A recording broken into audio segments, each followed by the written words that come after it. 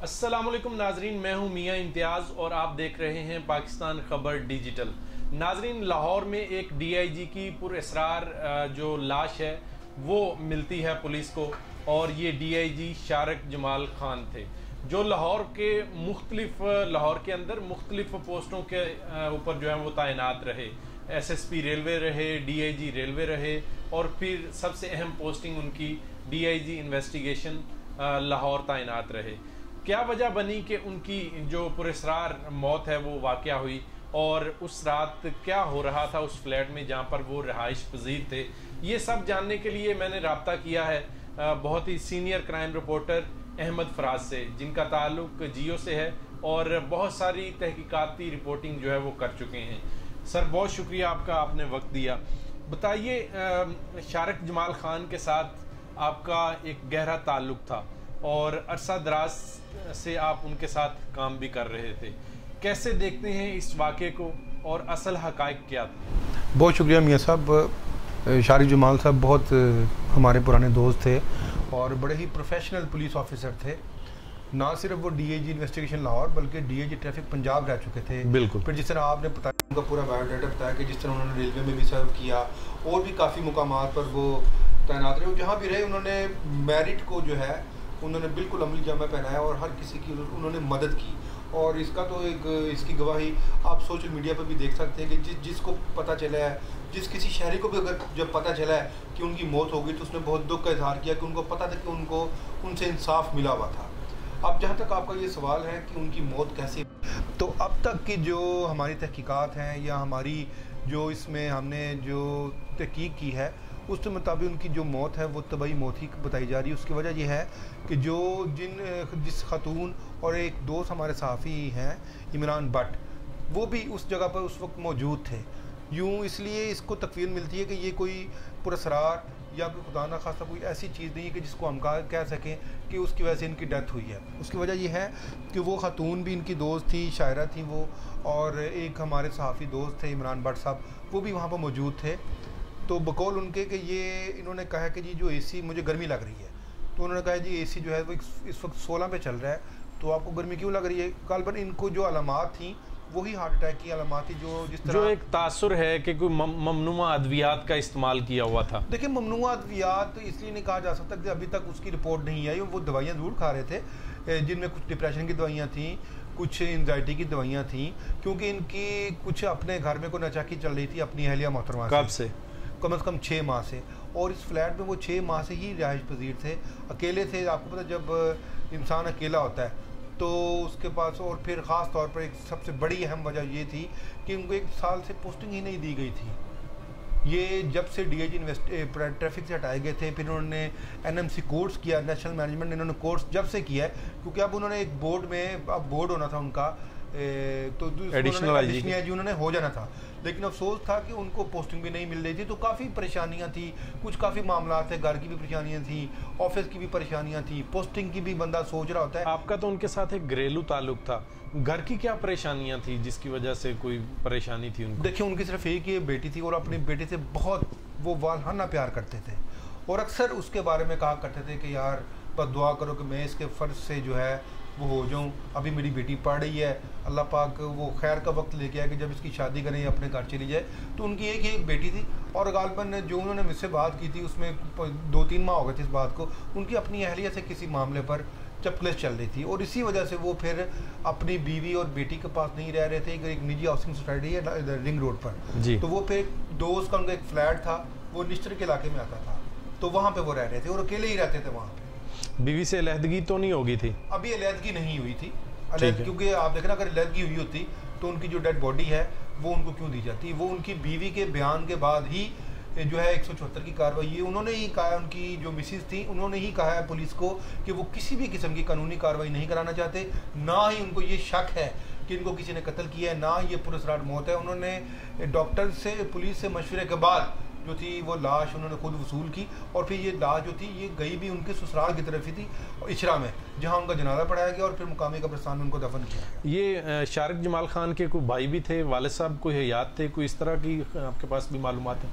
नहीं मुझे इसके बारे में ज़्यादा मालूम नहीं है क्योंकि उनके वाल साहब की तो डेथ हो चुकी हुई है बल्कि वालदा भी नहीं है। तो। एक आध भाई था उसके साथ भी उनकी कोई थोड़ी सी बोल चाल नहीं थी। बोल चाल नहीं तो इधर उनकी ज़्यादा इन लॉज में थी लेकिन इन लॉज में भी उनके जो है काफ़ी इस वक्त पाँच छः माह से कुछ सख्त बहरी चल रही थी। वो वो खातून कौन थी जो उस रात वहाँ पे मौजूद थी और रात के इस पहर खातून का होना कुछ शकूक पैदा नहीं करता? वो शकूक जो थे वो शकूक इसलिए पैदा नहीं कर रहा था कि वहाँ पर एक जर्नलिस्ट सहाफ़ी भी था वहाँ पे। ठीक है। वो भी शायर था और वो खातून भी कुछ शायरा थी वो शायरी शेर व शायरी का शगफ रखती थी क्या नाम था उसका? नाम तो उसका लेना कुरुतलैन कुरुतलैन जो जी आपको पता है जी जी। कुरुतलैन कुरुतलैन। और वो एक सरकारी इदारा था इस्लामाबाद का। जी जी। वहाँ पर वो पोस्टेड थी और पता ये चला कि इस वाक़े के बाद उनको भी उस अहदे से हटा दिया गया। सही। कुरतुलैन के साथ उनका एक बड़ी पुरानी रफाकत थी क्योंकि शेर व शायरी से शारक जमाल ख़ान को भी लगाव था कुरतुलैन को भी लगाव था।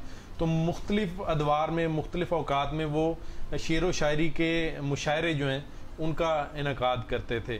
तो एक तवील रफाकत कुरतुलैन के साथ थी।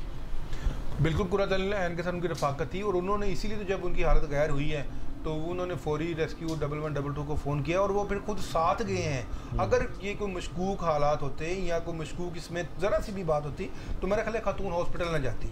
वो टिल एंड तक वहाँ पर रही है। जब तक पुलिस वहाँ पे नहीं आई जब तक उनका पोस्टमार्टम नहीं हुआ जब तक तमाम हकायक सामने नहीं आ गए वो खतून वहाँ से नहीं गई। पुलिस ने भी खतून को और हमारे वो जर्नलिस्ट जो भाई थे इमरान भट्ट उनका गालबन नाम है आप भी उनको जानते हैं। उनको उन्होंने अपने तहवील में लिया कई घंटे उन्होंने अपने पास रखा उनसे पूछगछ की उनसे तफ्तीश की। लेकिन जो बात निकली वो यही थी कि उनकी जो मौत थी वो एक तबई मौत थी। उसमें किसी भी किस्म का कोई खुदा न खास्ता कतल कितनी देर हिरासत में रखा इन दोनों को? और क्या बातचीत इनके साथ हुई? क्या तहकीकात हुई? सुबह का ये वाक्य जो था ये कोई आठ नौ बजे का वाक्य था जब उनको वो उनको हिरासत में लिया गया। क्योंकि रात दो बजे उन्होंने पुलिस को कॉल की जब वो हॉस्पिटल गए हैं। उसके बाद पुलिस वहाँ पे पहुँच गई फिर उन्होंने वहाँ पर जाके उस खातून को और उस जो जर्नलिस्ट थे उनको हिरासत में लिया। कम अज़ कम दस से बारह घंटे उन्होंने अपने पास रखा और अच्छी बली छानबीन करके उनके जो वर्षा थे शारिक जमाल साहब की जो अहलियाँ थी जो उनकी बेटी थी उनसे तमाम स्टेटमेंट ले के तहरीरी स्टेटमेंट लेने के बाद उन्होंने उन दोनों को जाने दिया। कहीं वो खातून का कोई असर और सूख तो नहीं था कि उसके इस्तेमाल की वजह से वो बच गई हो? नहीं मियाँ साहब आप भी माशाल्लाह एक अरसे से क्राइम रिपोर्टिंग कर रहे हैं। मेरा ख्याल है एक यहाँ पर अगर खुदा ना खासा कोई किसी को कत्ल या कोई भी ऐसी कार्रवाई जो उसमें कानून इन्वॉल्व हो जाए लॉ खास तौर पर कत्ल के वाकयात में इस तरह पुलिस इस तरह फेवर नहीं दे सकती किसी को। बिल्कुल। अब तो बिल्कुल भी नहीं दे सकती। और जिस तरह हमारे यहाँ पर आईजी पंजाब डॉक्टर उस्मान हैं और ख़ास तौर पर बड़े ही प्रोफेशनल ऑफिसर हैं सी सी बिलाल कमियाना फिर D I G operation Ali Nasir Rizvi साहब डी आई जी इन्वेस्टिगेशन आपको पता है इमरान किश्वर जिन्होंने पूरी नौ मई के वाक़ की तफ्तीश की है और ख़ास तौर पर फिर S S P investigation doctor Anush तो ये तमाम प्रोफेशनल ऑफिसर लगे हुए हैं मेरा ख्याल इनके होते हुए ये नहीं कहा जा सकता कि किसी ने भी उसमें कोई नलायकी दिखाई है या किसी ने भी फेवर देने की कोशिश की है। इसका तासर अच्छा वैसे एक सवाल पैदा होता है कि अगर खातून का कोई इसमें अमल दखल नहीं था तो फिर महकमे ने फौरी तौर पर एक्शन लेके उसको फारिग क्यों कर दिया? देखिए ये उनका एक महकमे का या एक रवायत बनी हुई है कि बंदे ने फारिग कर दो बाद में जो मर्ज़ी होता है। मैं भी हो सकता है कि उस खातून ने खुद रिक्वेस्ट की हो कि जी मुझे आप फ़िलहाल ओ एस टी कर दें। या मैं लेकिन कहा यही गया कि उनको उस इदारे की जानब से उनको वहाँ से हटा दिया गया। लिहाजा आपको पता है वो डीएमजी ऑफिसर हैं उनको किसी भी बैंक में पोस्टिंग मिल जाएगी। वो जो खातून है वो इससे पहले कहाँ कहाँ पे काम करती रही मुझे ये पता चला कि इससे पहले वो इलेक्शन कमीशन में इसमें रेलवे में रही हैं और आज तक आजकल वो शायद वो इलेक्शन कमीशन में। ये डीजीपीआर की मुलाजमत भी थी? नहीं जी मुझे इस बारे में बिल्कुल नहीं। तो अभी ये केस मुकम्मल तौर पर ख़त्म हो गया क्योंकि अभी उनकी सिर्फ़ एक फाइनल उनकी पोस्टमार्टम रिपोर्ट आनी है। आपको पता है उसके लिए कम से कम डेढ़ माह का अर्सा दरकार होता है। तो वो उन्होंने उनके स्टमिक के आज़ाद लेके उन्होंने जो रिपोर्ट थी वो पी पीएफएस से भिजवा दी है। तो पीएफएस की अब जो फाइनल रिपोर्ट है वो तकरीबन डेढ़ माह के बाद है। मौके से बरामदगी क्या क्या हुई थी? क्या कौन सी चीज़ें मिली थी? उन्होंने कोई ऐसी चीज़ कोई ऐसी नहीं कोई हथियार या कोई तेज धार चीज़ ऐसी तो कोई नहीं मिली। उन्होंने यहाँ से अद्वियात को इन्होंने अपनी कस्टडी में लिया और उन्हीं को मुआयने के लिए भिजवाया। कई अद्वियात क्या थी और इनका पर्पज़ क्या था? कुछ उनके पास डॉक्टर्स की स्लिप्स थी उनकी प्रिस्क्रिप्शन थी वो उन्होंने ली हैं। उनके जो उन्होंने बर्तन इस्तेमाल किए थे ग्लास प्लेट वो और ख़ास तौर पर जो अद्वियात थी उन्होंने उसको सैंपल के लिए भिजवा दी। जो फ्लैट था वो शारक जमाल खान के किसी दोस्त का था। जी बिल्कुल यही पता चला कि उनके किसी करीबी दोस्त का था और उन्होंने उसी से रिक्वेस्ट पे लिया हुआ था क्योंकि वो अकेले रहते थे ये भी तासर मिल रहा है लोग बात कर रहे हैं सोशल मीडिया के ऊपर। वहाँ पे कोई पार्टी चल रही थी आ, कोई इस तरह का कोई प्रोग्राम हो रहा था। मेरा ख्याल इम्तियाज़ साहब इस तरह की बातें जब निकलती हैं तो पुलिस जो है वो हर पहलू पर तफ्तीश करती है। अगर कोई पार्टी वाली बात होती या कोई भी बात होती तो मेरा ख्याल है वो उनके जो पड़ोसी या जो मलिका जो फ्लैट वाले होते हैं वो बताते वो खुद बताते कि यहाँ पर ऐसी कोई मशकूक सरगर्मी चल रही थी कि जिसमें उनकी हलाकत हुई है। मेरा ख्याल ऐसा सीन कोई नहीं बहुत शुक्रिया अहमद फराज साहब। अहमद फराज साहब हमारे साथ मौजूद थे और आपने इनकी बातें सुनी क्योंकि ये अरसा दराज से तहकीकती रिपोर्टिंग कर रहे हैं और शारक जमाल ख़ान के केस के अंदर भी इन्होंने ख़ास तौर पर तवज्जो ली और इस बारे में चूँकि इनकी, उनसे लगाव भी था, दोस्ती भी थी और अभी तक पुलिस की जानब से जो तहकीक़ात की गई हैं, उनमें ये तबई मौत जो है वो सामने आ रही है। लेकिन जो हतमी तौर पर जिस चीज़ का अंदाज़ा लगाया जाएगा, वो मुकम्मल जो पोस्टमार्टम रिपोर्ट आएगी, उसके बाद ही अंदाज़ा लगेगा। बल्कि यकीन होगा कि ये मौत किस वजह से वाक़ हुई। अपने मेज़बान मियाँ इम्तियाज़ को इजाज़त दीजिए, अल्लाह निगेबान